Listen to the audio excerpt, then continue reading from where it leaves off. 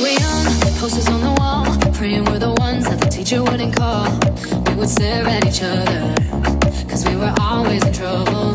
And all the cool kids did their own thing. I was on the outside, always looking in.